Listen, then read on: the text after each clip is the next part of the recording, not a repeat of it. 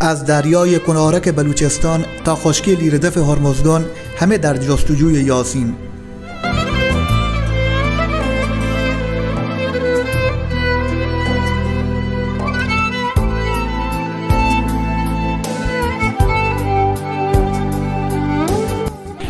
پنج روز از ناپدید شدن یاسین نهنگی نوجوان 16 ساله زهرآبادی در رودخانه رافچ میگذرد.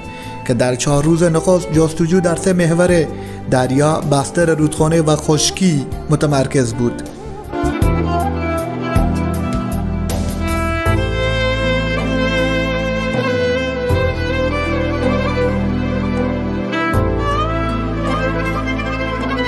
روز پنجم مردم شهرستان زهرآباد با یک وحدت مثال زدنی و در یک اقدام تاریخی با دست خالی مسیر رودخانه را تغییر دادند که تاریخ گواه خواهد داد که مردمانی در آخرین نقطه استان سیستان بلوچستان با دست خالی یکی از بزرگترین رودخانه های بلوچستان را جهت یافتن یاسین تغییر مسیر دادند.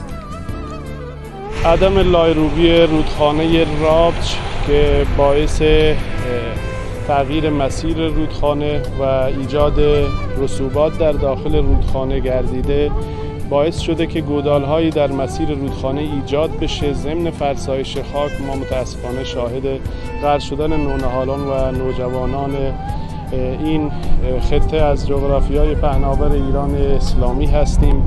انتظار می رفت که نیروهای امدادی هلال احمر شهرستان زرآباد البته پایگاه زرآباد که واقعا سنگ تمام گذاشتن و نیروهایی از چابهار نیز اعزام شد اما ریاست محترم شهرستان حضور پیدا نکردن. این مردم بودن که باز هم به کمک همدیگر شتافتند.